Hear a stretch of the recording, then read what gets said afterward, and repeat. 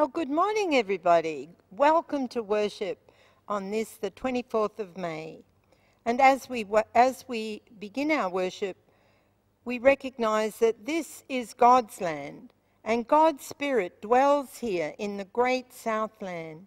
As we meet, we acknowledge the traditional custodians of this land under God, and we commit ourselves afresh to working for reconciliation. Today is Ascension Sunday, and that means it's the final Sunday of the season of Easter. Christ has been raised from the dead and has now ascended to heaven, where he sits at God's right hand. It's also Chaplaincy Sunday, so today we'll be thinking especially of all those who serve God through a variety of capacities as chaplains. And, as, and so today we're going to be using parts of the liturgy uh, that have been prepared especially for today. So please join me. Eternal God, we come again. We come again, seeking, hoping, wanting to hear your word. We come because despite our best efforts, we have failed to live by bread alone. We come impelled by a desire too deep for words with longings that are too infinite to express.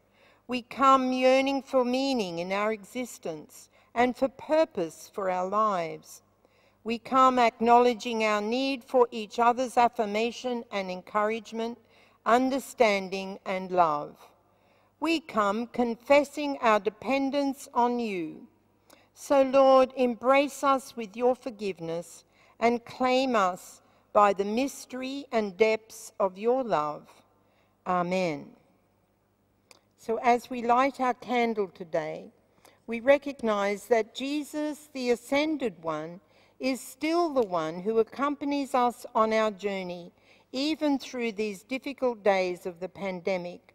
We light this candle to celebrate his presence with us at all times. He alone can turn our darkness into light. Please join me as we pray. Glory to you, reconciling God. We come to you today with thanksgiving and praise.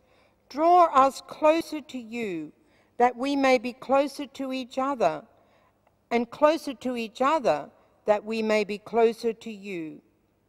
As we seek your blessing for this time of worship as a dispersed congregation, we pray for other congregations who will gather today using various forms of technology.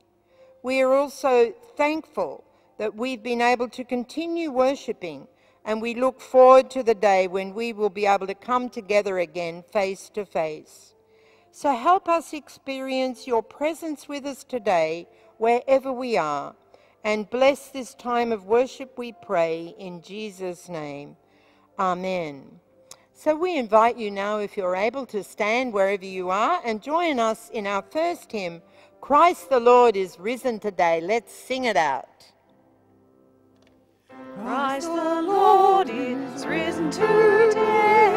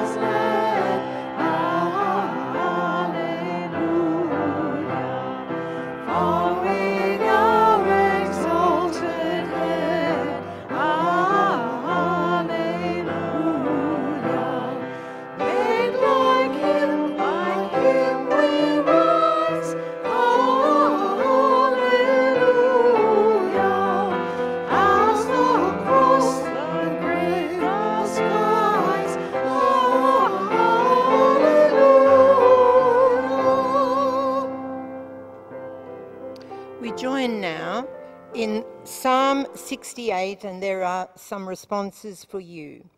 Sing to God, sing praises to God's name, prepare a way for him who rides on the clouds. His name is the Lord. Be glad in his presence. God, who lives in his sacred temple, cares for orphans and protects widows.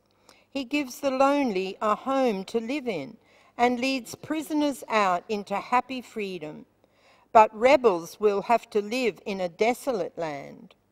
O God, when you led your people, when you marched across the desert, the earth shook and the sky poured down rain because of the coming of the God of Sinai, the coming of the God of Israel. You caused abundant rain to fall and restored your worn out land your people made their homes there. In your goodness, you provided for the poor. Sing to God, kingdoms of the world. Sing praises to the Lord, to him who rides in the sky, the ancient sky. Listen to him, shout with a mighty roar. Proclaim God's power. His majesty is over Israel. His might is in the skies. How awesome is God as he comes from his sanctuary, the God of Israel. He gives strength and power to his people. Praise God. So we're going to do that now as we sing that beautiful doxology. Praise God from whom all blessings flow. Praise God from whom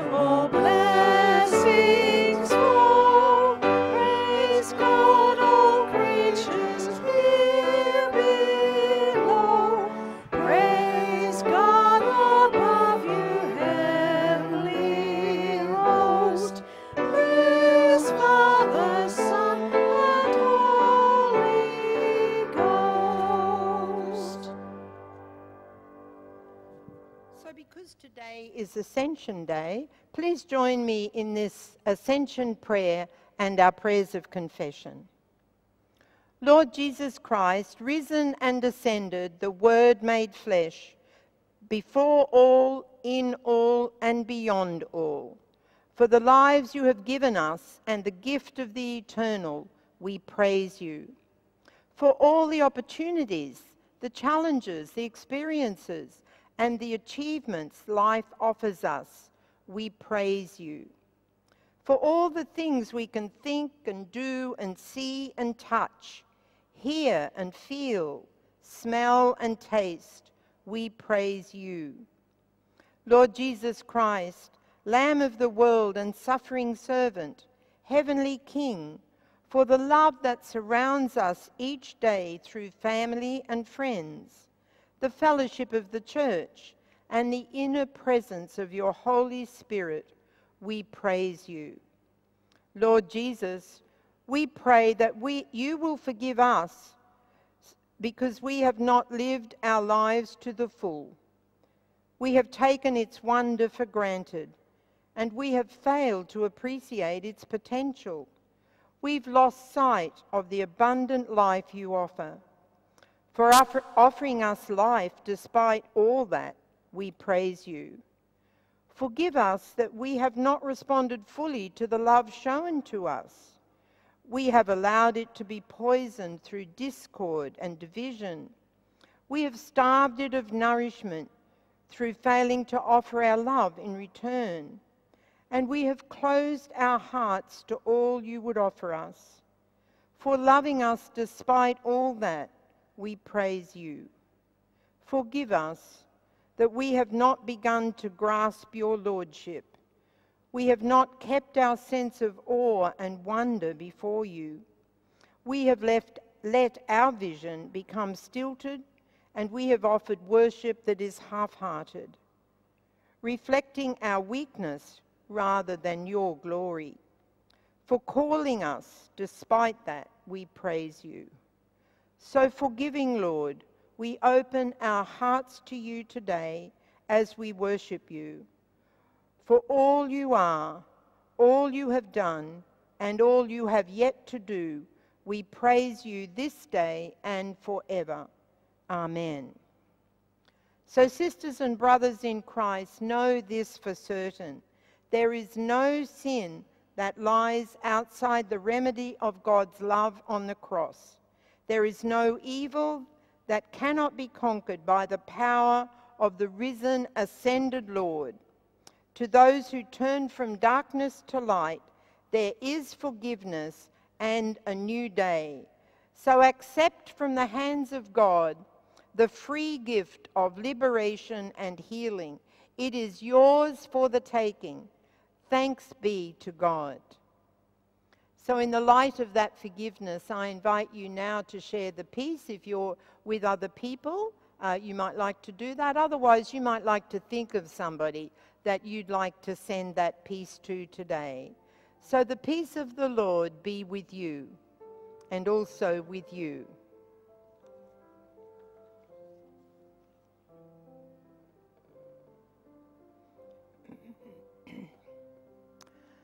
So this week, uh, Reverend Janet is having a well-earned uh, break, and uh, so we are hoping she's had a, a wonderful time of refreshment. Um, and also next week, next Sunday is Pentecost Sunday. And normally, if we were here together, we'd all be wearing red. So I'm going to invite you, if you've got something red, you might like to wear that next Sunday or have something red uh, near, near you as we celebrate uh, the, the beginning of the church in, in Pentecost. Today, uh, our family cross, we'd like to give this to Margaret Munro. As you know, Margaret is one of our musicians and she's been a very, very faithful member of this congregation for a long time. So, Margaret, we'll make sure this gets to you. And would you please remember to pray for Margaret um, in this coming week?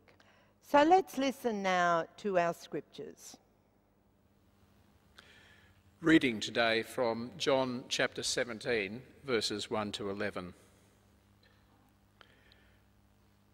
After Jesus had spoken these words, he looked up to heaven and said, Father, the hour has come. Glorify your Son, so that the Son may glorify you since you have given him authority over all people to give eternal life to all whom you have given him.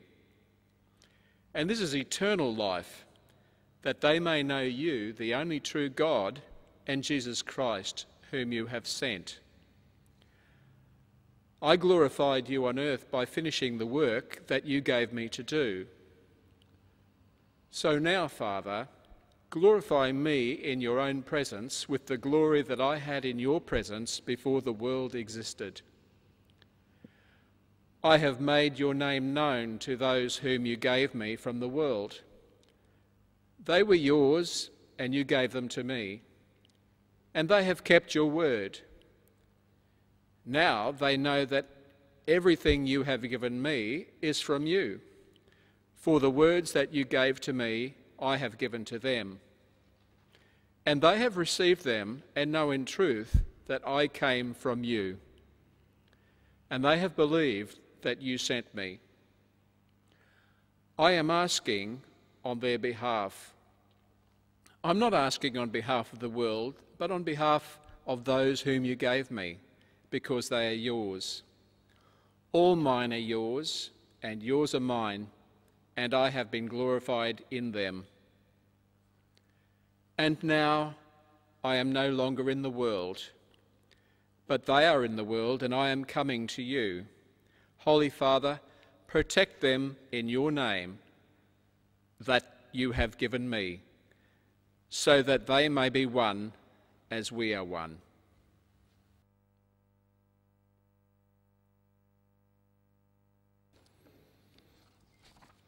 Our second reading comes from Acts chapter 1, verses 6 to 14. So when they had come together, they asked him, Lord, is this the time when you will restore the kingdom to Israel? He replied, It is not for you to know the times or periods that the Father has set by his own authority. But you will receive power when the Holy Spirit has come upon you and you will be my witnesses in Jerusalem, in all Judea and Samaria, and to the ends of the earth. When he had said this, as they were watching, he was lifted up, and a cloud took him out of their sight. While he was going, and they were gazing up toward heaven, suddenly two men in white robes stood by them. They said, Men of Galilee, why do you stand looking up toward heaven? This is Jesus who has been taken up from you into heaven. Will come in the same way as you saw him go into heaven. Then they returned to Jerusalem from the mount called Olivet, which is near Jerusalem, a Sabbath day's journey away. When they had entered the city, they went to the room upstairs where they were staying. Peter and John and James and Andrew, Philip and Thomas, Bartholomew and Matthew, James son of Alphaeus, and Simon the Zealot, and Judas son of James. All these were constantly devoting themselves to prayer, together with certain women, including Mary, the mother of Jesus, as well as his brothers. So, as we prepare our hearts and minds to listen to the message that will be brought to us today by Reverend Glenn, let's sing our next hymn, Break Now the Bread of Life.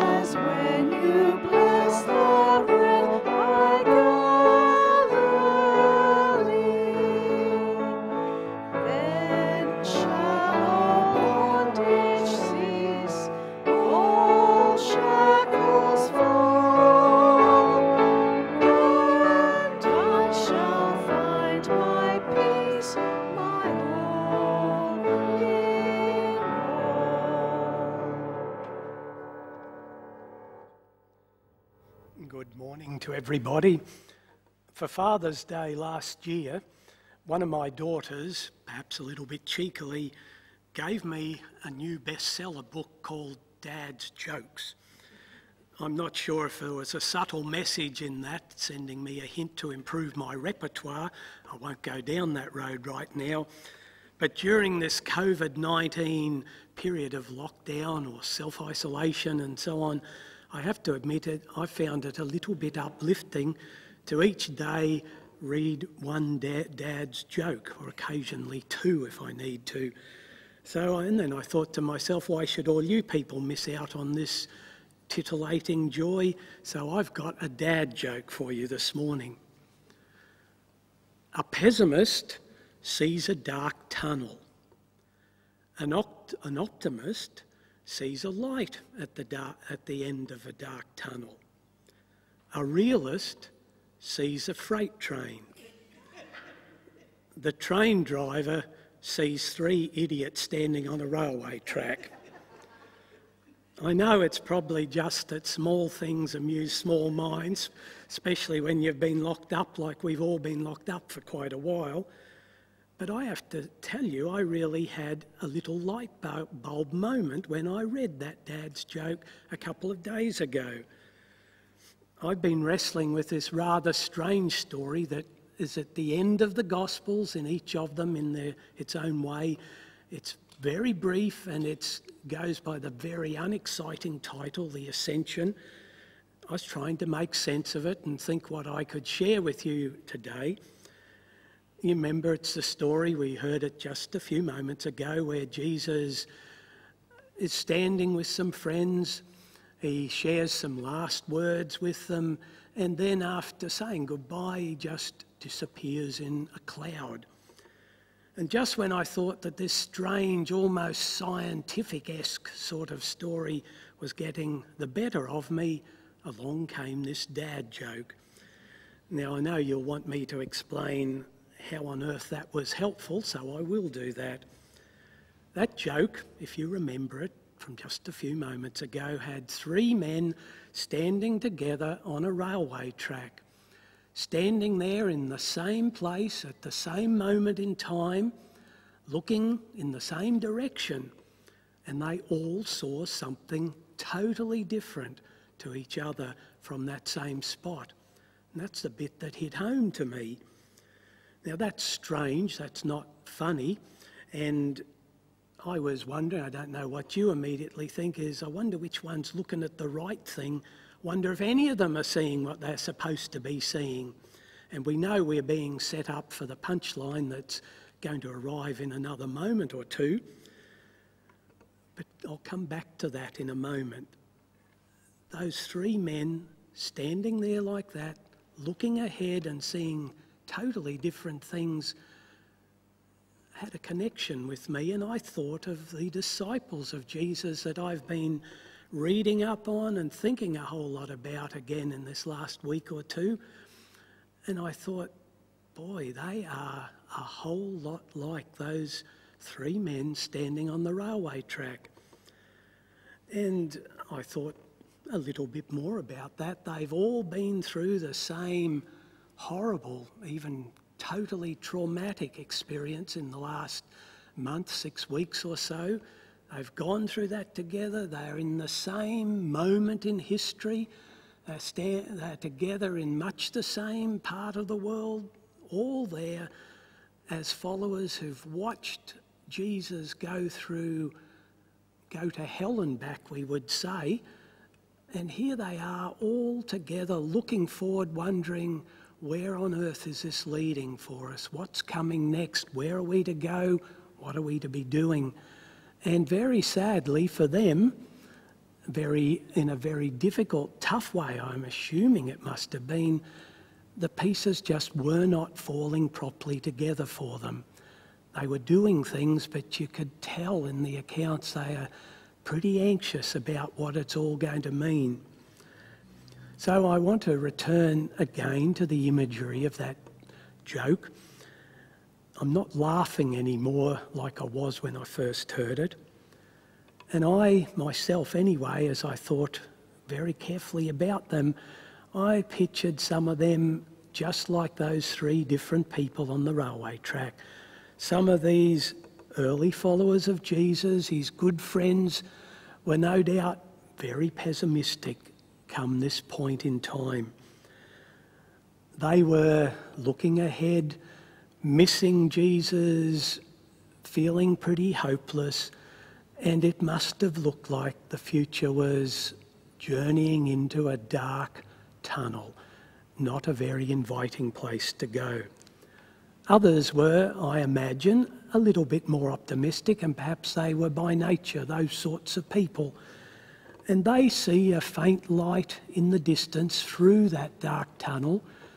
It's a long way away. They don't yet have any idea what it'll really mean for them or what it'll look like in practical terms, but it gives them a little sense of hope that down the track things are going to be better for us. And they are hanging on to that hope. And others, though, are probably like we can identify with as well, some of us, we'd probably say boringly realistic and pragmatic about everything. They've taken stock of what horrible things they've been through together in these last couple of months, in a whirlwind couple of months.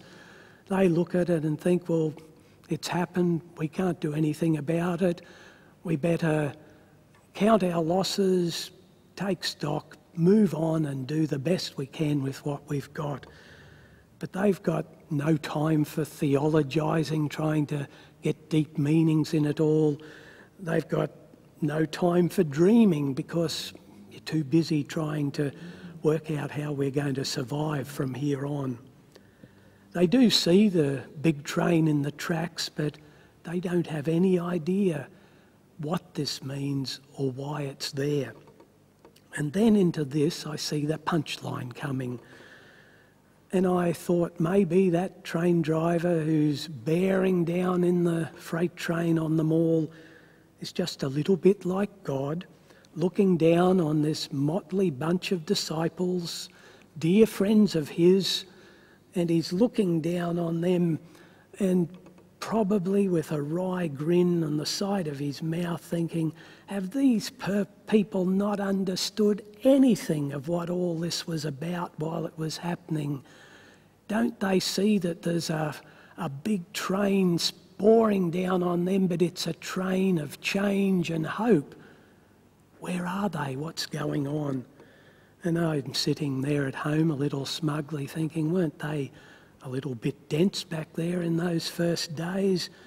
But it doesn't take long before the, the penny drops. The deepest cut of all was when I realised we are not any bit different to those disciples 2,000 years ago.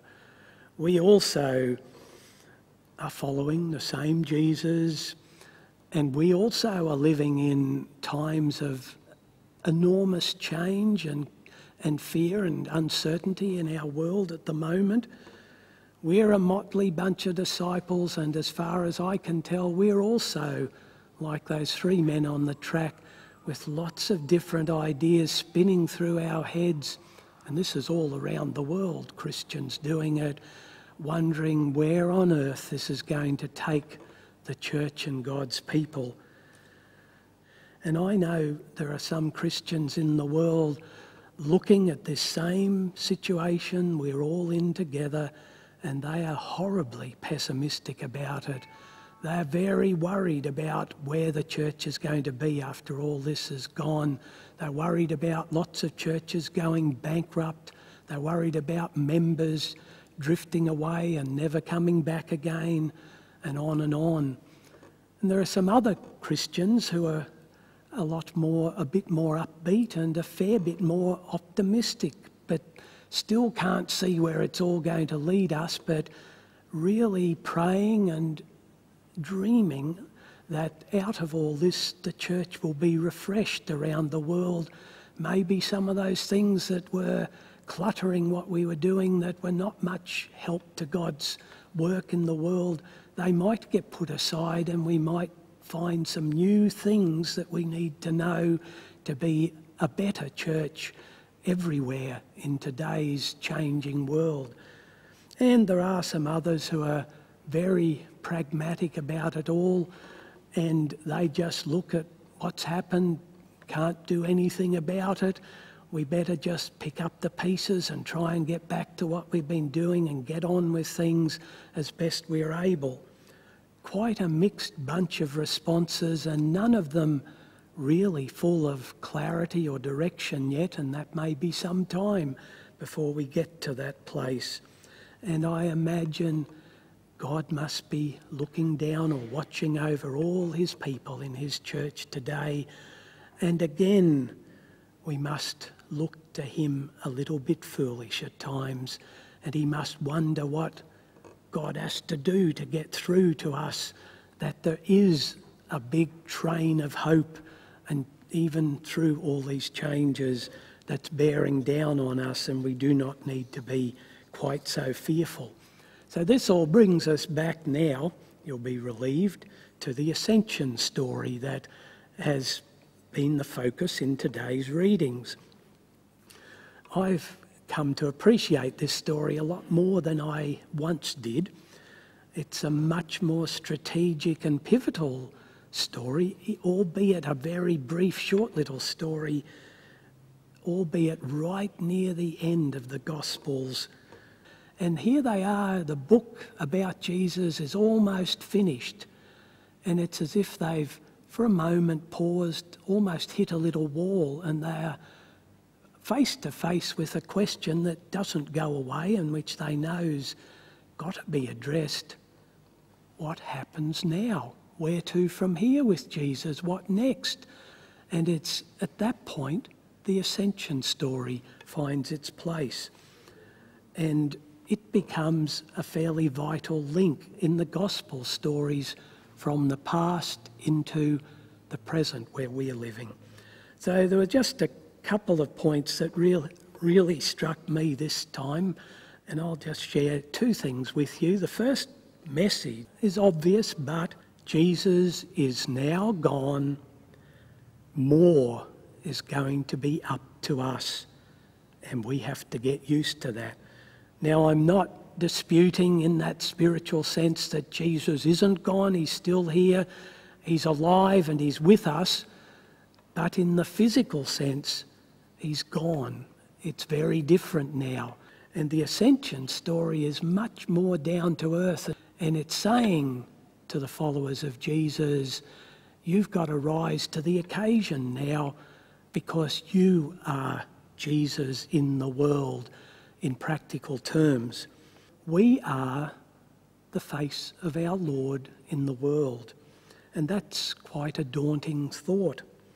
You can't underrate how important this little story is to understand that now we are Jesus' hands, we are Jesus' feet, we are Jesus' eyes, we are Jesus' ears in the world, we are Jesus' compassion carers in the world. We are Jesus' justice doers in the world. We are Jesus' dirty hands helpers in the world. We are the face that people will look to, and as they look to us as followers of Jesus, that will determine what they decide to do with Jesus. If we stuff up, as we often do and will do because we are just human, the image of Jesus, the standing of Jesus in the world takes another hit. And it becomes that little bit harder for someone else somewhere to see and find Jesus. If you don't believe this all matters really, that it's just theoretical gobbledygook, just stop and think what big hit Jesus and the church and Christian faith has taken in the world in the last couple of decades, particularly the last decade, in light of all the scandals over child abuse, pedophile clergy all around the world. The world has noticed that, and the world is tarring the Christian message and gospel with that sort of image. So this little story has a pretty powerful message to us all.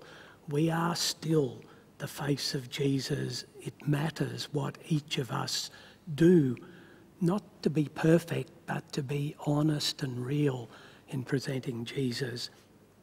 The second thing then follows on from that, and it's a pretty big thing as well to come to terms with. We have to learn to see change as an opportunity not as a threat. When Jesus died and was no longer physically present with all those disciples of his back there in the world as it was 2,000 years ago, it's very hard for us to really imagine how traumatic, how grief stricken, how hard it must have been for those people. But they did pick up the baton gradually, bit by bit, they got it all together. They made some mistakes, they picked up the pieces and they kept on with it. And that little church in Jerusalem gradually spread further and further afield as they set about being the face of Jesus in a new way in the world. So in 20 to 2020, we've come face to face with an, another generation of cataclysmic change. Who of us at Christmas time could have imagined that there was anything in the world other than a huge world war that might bring the whole planet to its knees? But we found out there are such things as that, and the world we live in has taken a big hit, a confidence hit, and probably to me the biggest damage or effect of it all is that we in our generation have had to face that we aren't masters of everything in this world. we are still vulnerable to many things that we can't automatically fix, despite our medical advances, our technologies, and all the superb things that we think we are in control of. There are still a lot of things that we can't do, and that vulnerability, that fearful vulnerability, has risen up to the surface again in our world. This pandemic is a big challenge and it will be with us in its aftermath for a long time to come. And it's certainly challenging us as Christians to look again at how we present the message of our Lord to this sort of world we're in. On top of that, the church has been under siege anyway for a long time before this pandemic came. In my lifetime, I've seen it shift away from being at the centre of the community. I can remember when the Courier Mail reported highlights from Sunday sermons around Brisbane every week in their paper, and they'd report the synods or the conferences in great detail. Now, nobody wants to hear that anymore. We're there on the sidelines and the periphery for so many people. It's a big challenge that we're facing in our changing world, like the freight train coming down the train line. But it is a train that brings change and hope if we keep focused on our Lord. How do we embrace these changes? What will it mean? None of us know all those answers yet, but Christians have done it before throughout the turbulent history the church has lived through. They've worked out answers in new situations. It's often been very painful, but they've done it. They'll do it again. We have to do it again. So, Ascension, to sum it all up for me, is saying we've got to see this change as we are facing today in our world as an opportunity where there will be new things we can do for God and with God and with our Lord in the world. Rather than shrinking away, cowering in fear and defensiveness, it's inviting us to get ready, to be ready whenever our Lord leads us to a new day together. Now, just in case all of that has been just a little bit heavy going, in this COVID 19 self isolation world that we're still living in, where I have to say we've all been not only confined to our homes, we've been confined a lot closer to our refrigerators and our pantries and is good for our health. So I have one parting dad joke for you. This is in the diet diary and it's day one. I removed all the fattening food from the house. It was delicious. Amen. Peace be with you. Thank you, Glenn, for that message. And um, uh, kids, we haven't forgotten about you. Uh, the segment this week has been done by Debbie, and that will be on that separate uh, spot for you. So we hope you are enjoying uh, these uh, things that we're doing for you each week. So as we come to our time of offering now, we want to thank you for the ways that you have been faithful in continuing to give. Some of you are doing that online.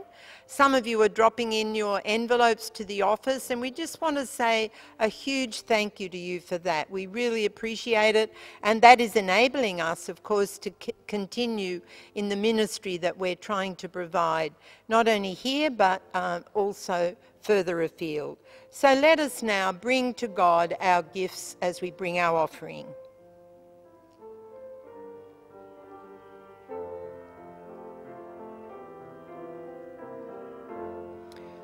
So please join me now in prayer. Loving God of all times and seasons, we offer ourselves, our time, our talents, and our gifts to you in thanks and gratitude. And we pray that all we offer would help to enable your message of love and forgiveness to be shared broadly in your world and our local communities. Amen.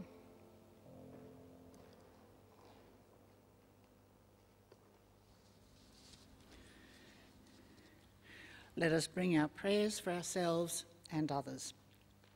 Let us pray. Loving God, who still calls us together in different ways, we come knowing you listen and bless all your children. Today we come to bring our thanks. Thank you for wise leadership in our government and churches, and we pray you will continue to guide and give wisdom to all our leaders. We pray for leaders, decision makers, and advisors in nations around the world during the pandemic, civil disturbance, and natural disasters. Help them work together in wisdom and justice. We pray for breakthroughs in knowledge about the virus for researchers. May they work in safety and in cooperation with each other. As we enjoy our relative security and comfort, we remember many whose need is overwhelming. Within our own community, we pray your blessing on those struggling financially, especially those who have lost their jobs.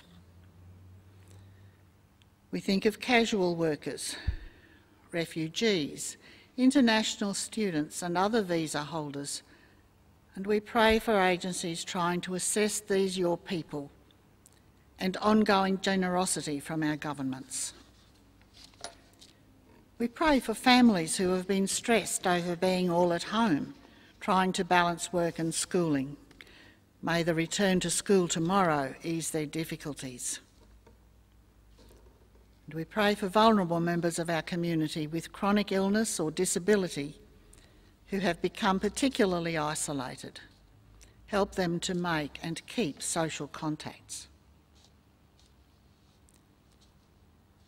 We pray for those who work in frontline services, hospitals, emergency and community services, schools and residential care. Please bless and care for them.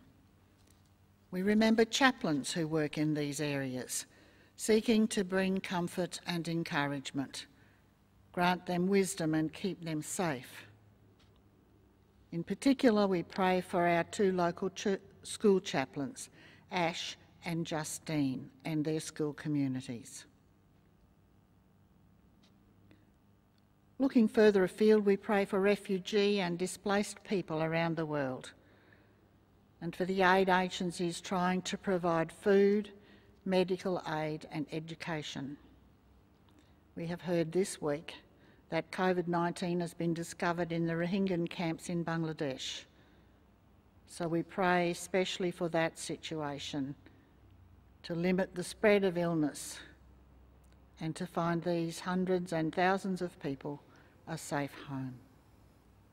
Today makes, marks the beginning of the week of prayer for Christian unity. Loving and merciful God, you hear the cry of the poor and stretch out your hand to save them. Look upon our world in its need.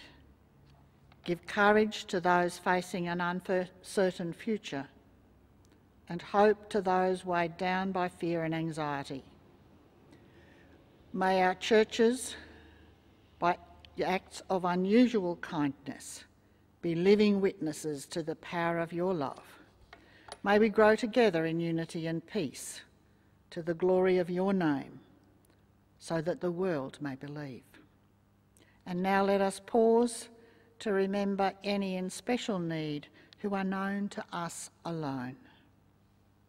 We pray silently.